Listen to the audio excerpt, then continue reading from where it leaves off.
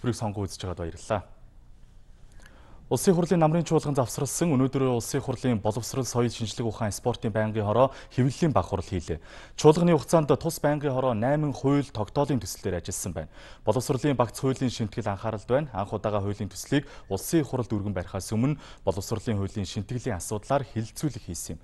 Шинжлэх ухаан технологийн болон кино урлаг соёлын тухай хуулиудыг чамбайруулахаас одоо ажлын хэсгийг тус байнгын хорооноос байгуулан ажиллаж байна. Мөн анх удаага музейн тухай хуультай болсон талаар мэдээлэл өглөө. Хөгжлийн тэргүүлэх салбарт шинжлэх ухаан боловсрол, соёлын салбар болж энэ дардаг тиймээ шинжлэх ухаан, соёл боловсролын салбарт эргэцэн гол шинтгэл хийж эхлэх эхний үр дүнгууд гарсан гэдгийг байнгын орооны гишүүд өнөөдөр хэллээ. Байнгын ороо эрхтэх асуудлыг хүрээнд өнгөрсөн 30 жилд Монголын парламентын хөгжил алдаа оноо цаашид хуулийн сэглэг бэхжүүлэх бие даасан судалгааг бол хийсэн байна.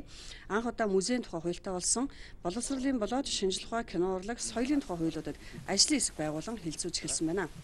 Монголынхон бүх багш нарыг хамарсан хилэлцүүлгийг орон даяар одоо зохион байгууллаа. Ерөнхий боловсролын сургуулиудын сургуулийн өмнөх боловсрол болон цэцэрлэгийн одоо багш ажилчдынхаа дээд боловсролын салбарынхныхаа одоо саналыг сонссон энэ хилэлцүүлгийг орон даяар одоо анх удаа зохион байгуулсан. Монголд анх удаа хуулийг одоо боловсруулж өргөн барихаас өмнө улс орон даяар одоо ийм том хэмжээний хилэлцүүлгийг хийсэн анхны тохиолдол энэ одоо намрын чуулган дээр манай байнгын орооноос зохион байгуулсан. Манай улсын шинжлэх ухааны салбарт зарцуулж байгаа хөрөнгө дотоодын нийт бүтээгдэхүүнтэй харьцуулахад маш доогуур хувьтай байна.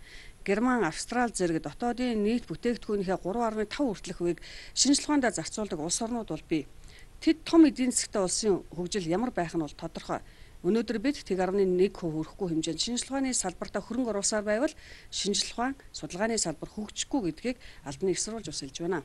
А тэгэхээр одоо энэ шинэ хуулинд шинжлэх ухааны салбарын хөрөнгө оруулалт, за шинжлэх ухааны салбарын ажилтан албаагчдын нийгмийн баталгаа, цалин хөлсний асуудал, дээр нь шинжилгээ судалгааны асуудлыг нь яаж төрөөс дэмжлэг үзүүлэх юм, тэр стартап компаниудыг ямар чиглэлээр нь хөгжүүл дэмжих юм гээд нэлээд тийм цогц шинэлэг юмнууд орж ирж байгаа. За манай улс анх удаа музейн тухай хуулийг баталснаар соёлын үнд зүйлсийг хадгалж хамгаалах, сурчлах, үйл ажиллагааны цар хүрээ, үйлчилгээний чанар хүртээмж сайжирч, музейн нийгмийн эдийн засгийн өрөөгөөс нэмэгдэх боломж бол бүрдсэн. Орчин цагийн музей 1924 онд байгуулагдсан. За өнөөдрийн байдлаар хуулийн этгээдийн бүртгэлтэй төрийн өмчийн 12 музей, орон нутгийн өмчийн 24 музей үйл ажиллагаа явуулдаг юм байна. Энэ хуулиар өдөр бол музейн сан өмөргийг одоо бүртгэлжүүлэх ажлыг хийж эхэлнэ гэсэн үг. Тэгэхээр цаашдаа бол одоо энэ музейн сан өмөргөөс юмнууд нь алга болох юм дутах юм тийм асуудал хайцсангүй баг болно гэж байна. А гуравт одоо хувийн ийм цуглуулгатай хүмүүс их байдаг. А энэ музейн хуулиар бол одоо хувийн музей байгуулах боломжийг бүрдүүлэх за санхүүгийн өшүүргийг бий болгох юм зүйл заалтууд орсон баг.